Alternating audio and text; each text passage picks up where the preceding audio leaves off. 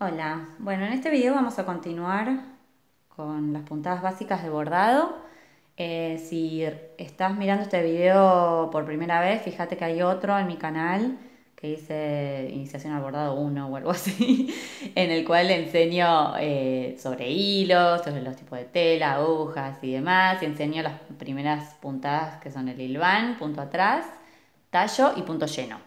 Eh, hoy vamos a ver más puntadas lineales y por ahí alguna de relleno también. Bueno, ahora vamos a ver, a ver cuánto seguimos porque quiero hacer videos más cortitos para que no sea tan largo. Bueno, para hacer el primer punto que se llama punto prisionero, vamos a usar dos agujas con dos hilos distintos. O sea, después pueden usar hilo del mismo color. Ahora les voy a mostrar las distintas variantes de, este, esta puntada. Em, pero bueno, yo voy a usar estos dos que son bien contrastantes para que se vea bien lo que voy a hacer. Entonces, primero lo que voy a hacer es decidir cuál va a ser la puntada, eh, el hilo que quiero que me quede de base, que me va a hacer el dibujo. Entonces, yo voy a entrar con el verde, voy a entrar desde atrás. Y voy a dejar la aguja clavada por ahí, porque lo que voy a usar ahora es más que nada el hilo y lo voy a ir agarrando con el otro. Entonces, lo que voy a ir haciendo es direccionando este hilo para donde yo quiero que vaya, perdón, toqué el, el, trípode, y con el otro hilo lo que voy a hacer es voy a entrar con la aguja, ahí se me fue foco, foco, foco, foco, foco, ahí está. Voy a pasar por arriba de este hilo, como agarrándolo, por eso se llama prisionero, y voy a entrar en el mismo lugar o un poquito más allá, como está el otro hilo no se me va a escapar, y lo voy a agarrar. ¿Sí? Ahí, tiki. De nuevo, avanzo. Voy por arriba, lo trago. La distancia entre puntada y puntada, eso lo van a definir ustedes según lo que les guste, lo que quieran lograr. Si son curvas, por ejemplo, curvas muy cerradas, les va a convenir que las puntadas queden más cerca, porque si no, va a quedar medio facetado. Lo que tiene bueno es este, este tipo de puntada que pueden hacer como líneas como súper curvas y van a quedar bien. Ahí.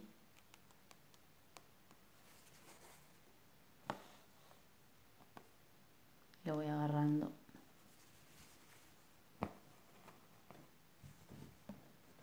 Queda muy monono llega a ver bien, bueno, mírenlo en la compu, eh, porque si lo miran desde el teléfono estas cosas son medio difíciles.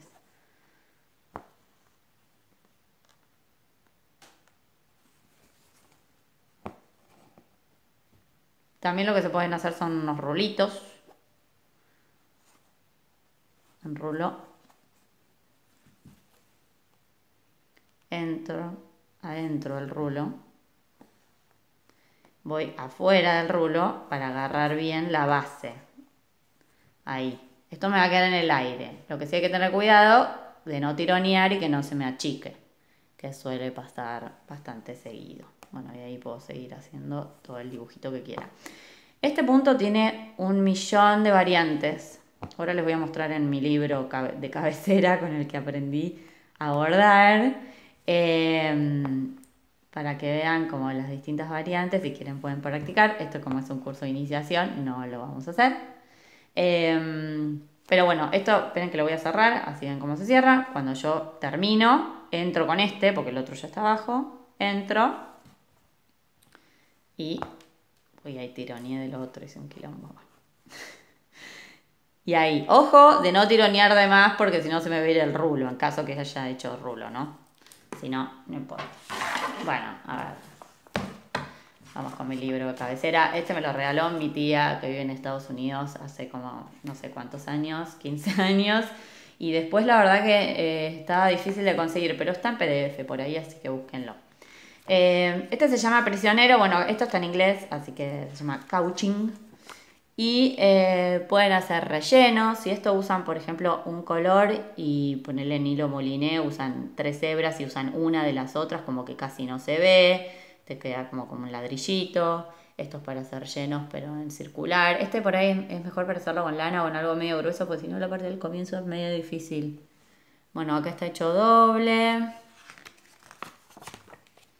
Esto es con lana, ir aprisionándolo y que vaya quedando como fruncidito. Bueno, aquí están los rulitos y estos son otros rulitos. Eh, onditas, otras onditas.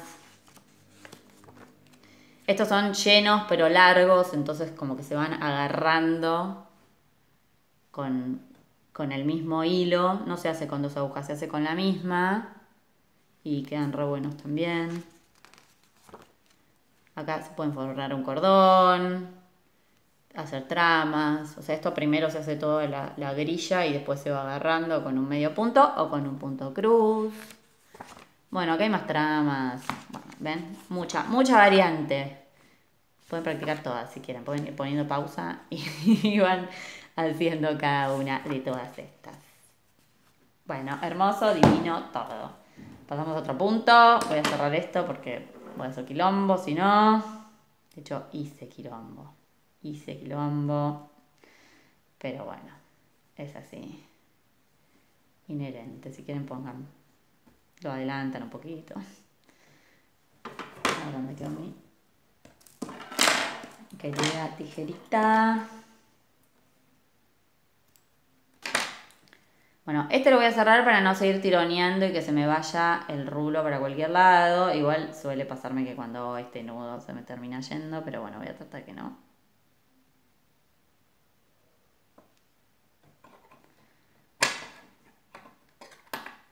Bueno, ahora vamos a hacer el punto cadena, básico total de los totales. Que se usa para hacer líneas y se puede usar para hacer llenos también. Bueno, atención, atención a la primera parte del cadena porque es importantísimo. Entonces voy a entrar. Y ahora, ¿cómo comienzo? Entro en el mismo lugar donde salió el hilo. Mismo exacto lugar. Me está haciendo foco esto hoy, por favor. Me vuelve loco. Entro en el mismo lugar. Avanzo. Todo en el mismo paso, ¿eh? Y ahora lo que voy a hacer es voy a chequear que el hilo pase por abajo de la aguja. Importantísimo. Paso, porque si no se me va a salir, porque como estoy entrando en el mismo lugar, se me va a salir. De nuevo, entro en el mismo lugar donde salió el hilo, que en este caso es adentro de la cadena, no es afuera la cadena, ni al costado, ni al otro costado. Es adentro de la cadena, avanzo, chequeo que el hilo pase por abajo de la aguja y paso. Si el hilo no pasa por abajo de la aguja, se les van a desarmar no solamente el último punto, sino que se les van a desarmar todos. Así que, cuidado. De nuevo, entro en el mismo lugar, avanzo, paso por abajo, tiki. Pueden hacerlo como más redondito y más chiquitito, pueden hacerlo más largo, pueden ir haciendo curvas, rectas, lo que quieran. Lo que sí, ojo cuando hacen ángulos rectos, porque suele eh, como torcerse el punto. Entonces yo si hago un ángulo recto, lo que hago, ahora se los voy a mostrar, es cerrar el punto, ahí que hago un puntito para afuera de la cadena y vuelvo a entrar adentro y arranco para el costado. O sea, prueben hacerlo así porque si no les va a pasar que se les va a torcer un poco el punto. Pero bueno, estos son, nada, si quieren lo aplican, si no, no. Entonces ahí sí puedo hacer el ángulo recto. Si no, esto se me viene para acá.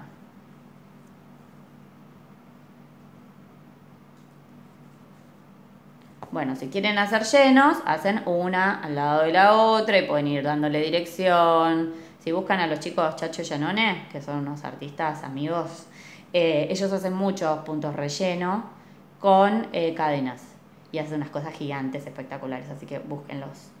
Bueno, ahí para cerrar lo trabo afuera.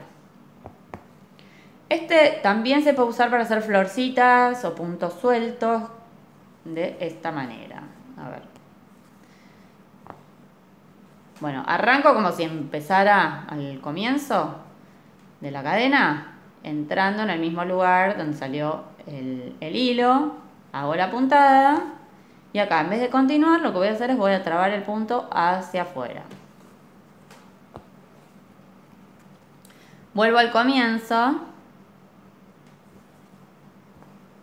Cambio la dirección de mi pétalo, porque si no me va a quedar todo por el mismo lado. Y de nuevo, entro en el mismo lugar, chequeo siempre que el hilo pase por abajo de la aguja y hice otro pétalo y así hacen todos los pétalos que quieran. Eh, van a ver que después no hace falta que cada punto se fijen, que pase por abajo de la aguja, como que después ya les va a salir solo.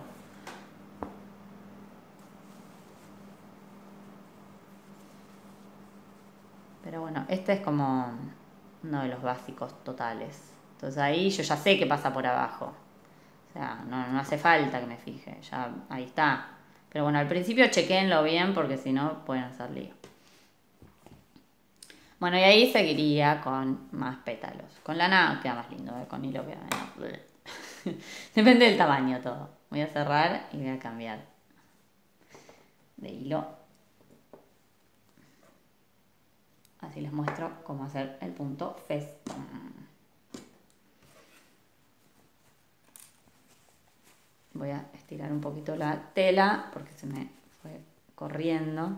Esto pasa todo el tiempo.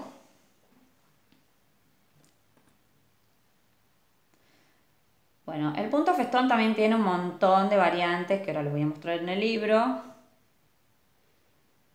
Pero bueno, les voy a enseñar como el, típico. Es el que se usa para hacer... Em, es este, a ver. Este. Se usa para hacer apliques, se usa para los bordes de, mantas o de puños. Em, y para otras cosas más también. Pues tiene un montón de, variantes. Entonces, uy, de nuevo, perdón, ¿eh? Perdón, perdón, perdón. Lo que voy a hacer es, con esto voy a direccionar hacia donde quiero que vaya el punto, o sea, es la parte de abajo del punto.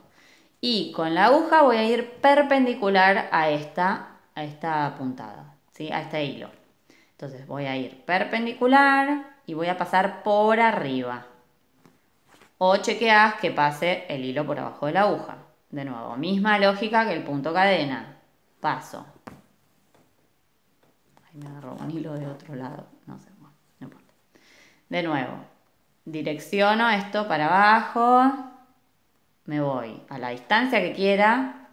Y de nuevo, hay un hilo naranja infiltrado ahí. De nuevo, perpendicular al hilo y paso por arriba. O sea, en este caso no es tan grave si se me escapa porque la puedo pescar. O sea, por ejemplo, ponerle que haga, un punto ahí y me olvidé de pasar por arriba del hilo, me va a pasar esto. Lo que hago es lo agarro y lo pesco. Ahí, ¿está bien? Bueno, y esto es lo mismo. Pueden hacer curvas, pueden hacer... Sirve para hacer un montón de, de, de variantes, sobre todo si van a hacer un aplique que van a tener que ir siguiendo la forma. Y también pueden ir variando la puntada, que les quede como más, más perpendicular al hilo, más en diagonal, de distintos largos, de distintas eh, eh, a distancias entre uno y otro. Si ustedes esto lo hacen bien, bien apretadito, van a hacer el bordado Richelieu, que es el bordado para hacer los calados, ¿vieron? De las de la mantelería y de las servilletas y de las puntillas y todo antiguo, bueno, eso se hace con bordado de Richelieu que es justamente este punto, pero hecho bien, bien apretadito, uno al lado del otro y con hilo común como súper, súper chiquitito. Ahora igual se los voy a mostrar como para que vean las variantes. En inglés se llama blanket stitch, es este. Pero ven que este está más separado que este. Este está como mucho más juntito, más largo. Estos son más cortitos y más separados. Acá modulando la, la altura, para un lado, para el otro, estos están enfrentados, estos son dos, ¿no? Uno para un lado, otro para el otro, en diagonal para un lado, en diagonal para el otro.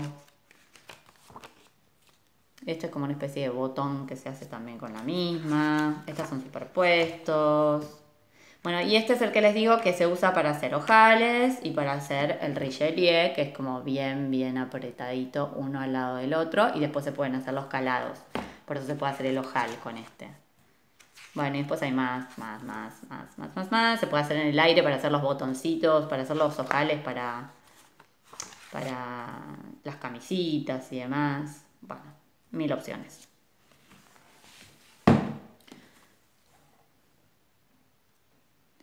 Bueno, ¿cómo termino? Trabo por arriba. Paso por arriba, lo trabo, como hice con la cadena, listo, lo cerré. ¿Está bien?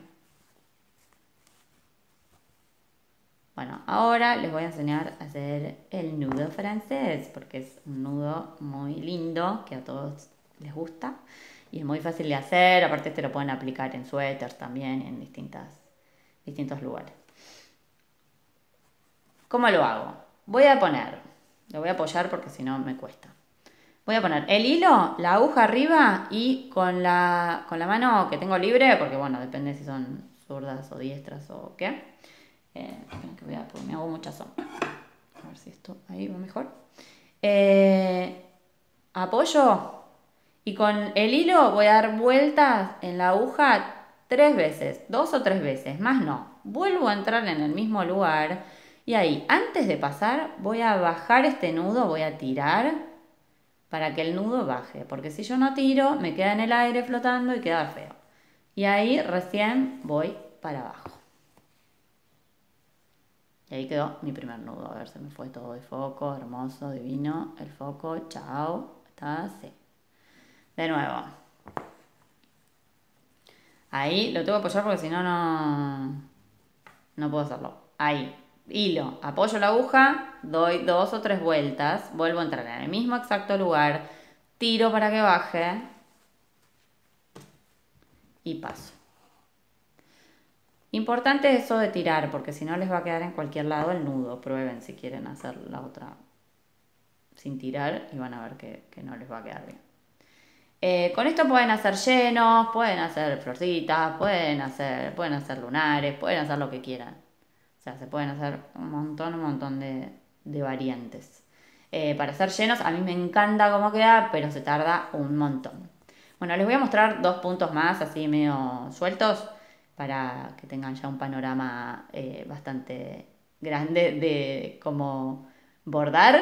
Eh, ya estos son los puntos básicos, o sea, después hay un millón más, pero bueno, está bueno que estos lo sepan sí o sí y después, bueno, elijan si les, si les gusta usarlos o no, porque después uno elige cuáles, con cuáles encariña y cuáles no. Pero bueno, quiero mostrarles el punto arena, que a mí me gusta para sombrear, que son simplemente puntos sueltos en distintas direcciones, se pueden hacer simples o dobles. Si quieren también pueden poner hilo más grueso, si quieren que les quede más grueso. O pueden hacer uno al ladito del otro y les va a quedar como un poquito más grueso. La dirección no importa, pueden ir variando la dirección y que les queden uno para un lado, otro para el otro. Pueden hacerlo más juntos, pueden hacerlo más separados. O sea, lo que está bueno de este punto es que eh, tiene como muchas opciones. Eh, dependiendo de lo que quieran hacer.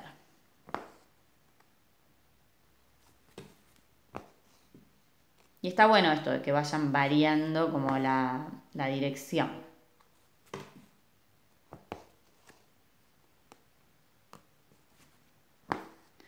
Bueno, este es uno, punto arena. Y el otro es el lleno suelto, que a mí me copa, me encanta, que lo uso un montón.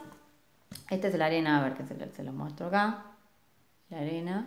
Acá lo tengo doble, lo hice doble, algunos dobles y otros simples. Y el lleno suelto es el que uso un montón para hacer rellenos. Ahora les voy a mostrar algunas aplicaciones. Entonces, eh, ¿se acuerdan que el lleno, el lleno lleno era que iban de un extremo al otro completando un espacio? Bueno, ahora eh, lo que voy a hacer es, es llenar, pero sin una mm, sin ir de punta a punta, sino que lo voy a hacer con puntadas más cortas que se van a ir entrelazando unas con otras y que van a ir todas como en una misma dirección, pero puedo ir variando esa dirección para darle un poco más de, de realismo. se pueden hacer matizados, se pueden hacer un montón de cosas. Entonces yo al principio por ahí hago puntadas medio separadas en la dirección que quiero que vayan y después lo que hago es empiezo a llenar los espacios que me quedaron vacíos. Y siempre tratando de que no me queden todos que empiecen y terminen en el mismo lugar, sino ir variando eso, que empiecen por ahí en la mitad de donde empezó el otro, como para que no me quede como el otro lleno, sino que me quede algo como más eh, natural. Es más como pintar, como dibujar, pero con hilos, bueno, que de eso se trata el bordado, ¿no? Pintar con hilos. Chicas, era eso.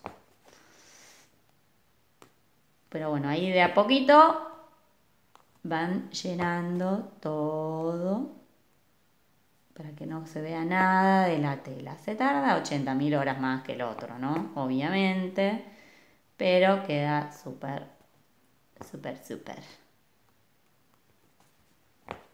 Ahora les voy a mostrar algunos ejemplos, así cierro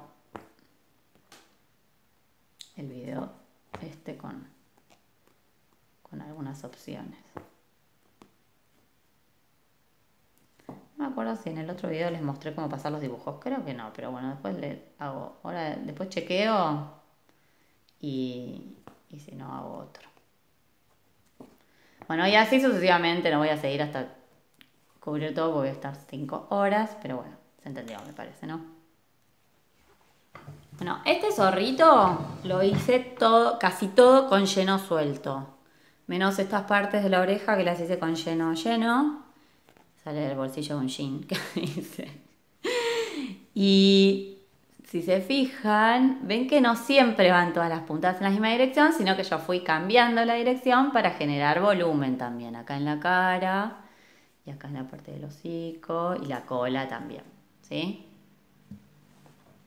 A ver, acá en el tutú de la bailarina también, igual esto es chiquitito. Pero bueno, si se fijan, todas las puntas que, que les enseñé están acá. está el punto lleno, punto atrás, esto es miniatura, ¿eh? está todo con una hebra sola, punto arena, lleno y no mucho más. Yo uso más que nada esos. Acá hay más con lleno, con lleno suelto. Igual hay lleno suelto y lleno del otro. Acá hay lleno, lleno, punto atrás, puntada larga. Estas son todas puntadas largas que van de un extremo al otro. Eh, acá hay más lleno suelto. Y después acá hay con punto tallo. Acá este tiene también, tiene punto atrás. Esperen que no me entra en el... Punto atrás, punto lleno suelto, punto lleno lleno, punto tallo acá. El punto tallo ven que es más gruesito que el otro. Y les muestro uno más y listo. chao, no les hincho más. Este que está hecho casi todo con punto cadena. O sea, todas las líneas están hechas con punta cadena. Acá hay nudos, acá hay llenos. Eh, y no sé si hay algún tallo en algún lado. Ah, no, acá hay un punto atrás, pero básicamente son esos puntos. Así que bueno, tienen para entretenerse. Eh, les debo entonces el otro. Está al revés esto. les debo el de cómo pasar los dibujos. Me parece que en el otro no lo hice. Así que va en otro video porque esto si no es eterno. Bueno, espero que les haya gustado. Eh, que anden bien. Me dan like y todo eso. Eh, y bueno, nos vemos. Les mando un besito. Chao.